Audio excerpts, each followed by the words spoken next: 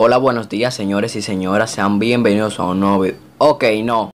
Hey, ¿qué tal chicos? Sean bienvenidos a un nuevo video y he estado viendo que sí me queda bien la presentación así, tipo formal, tipo restaurante, así como muy elegante. Se me da bien, ¿eh? Quizá cambie la presentación y la ponga así. ok, no creo que eso nunca va a pasar, ¿eh? Y bueno, como ya vieron en el título, este video será como... ¿Cómo? ¿Cómo? ¿Cómo? Y bueno, como ya vieron en el título, este video será sobre cómo identificar un bot. Ya sé que hay jugadores que no les interesa mucho si mataron un bot o no, pero a mí en lo personal sí. Y quiero, quiero compartir ese pequeño truco con ustedes. Porque sé que hay jugadores que les interesa saber, como a mí, si mataron un bot o no. Aparte que esto sirve mucho en los PvP porque si tú te das cuenta que es un bot, como que coges más confianza, como que piensas que no te puede matar. Y te da más confianza y así liberas un poquito más de tensión. Y bueno, voy a empezar explicándole algo a ustedes para que no lo vayan a matar. Y es que en clasificatoria, por lo general, no hay bots.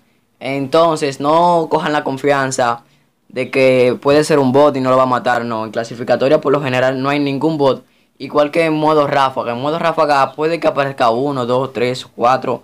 Pero no hay tanto. Sea, así que esto es para los que les guste jugar en modo clásico que ahí sí te puedes encontrar muchísimos bots. Entonces este truco lo aplicas y así liberas un poquito más de tensión.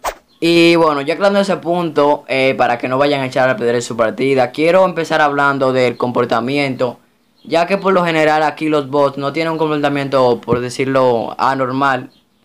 Es muy difícil identificar si estás en un PvP con una persona real o un bot. Porque por lo general los bots te disparan igual que una persona normal. Lo único que cuando tú te le acercas, ellos como que corren y se echan a correr así. Y tú te vas tras de ellos y no te matan hasta que te vuelven a ver. Y bueno, así tú te puedes dar cuenta si eso es un bot o no. Pero yo sé que eso es bastante arriesgado. Y yo personalmente me doy cuenta que es un bot después que lo mato utilizando este truco que les voy a explicar ahora. Vale, el truco consiste en que cuando tú mates a una persona, observes rápidamente el ojito, el ojito de, de espectadores que sale ahí a la izquierda de la pantalla, encima, al lado del mapa, por ahí, para ser más preciso. Que tú lo observes, si tú matas a una persona y te suma uno, te va a sumar uno de una vez. Luego él se puede ir, pero te va a sumar uno de una vez. Si te suma uno, no es un bot.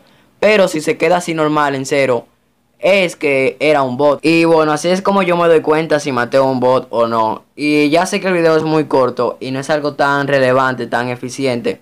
Pero como ya les dije al principio del video, hay jugadores que les interesa saber si mataron un bot o no. A mí en lo personal me interesa saber si maté un bot o no porque si sé que di algo épico, por ejemplo un headshot y veo que es un bot, como que se baja la epicidad.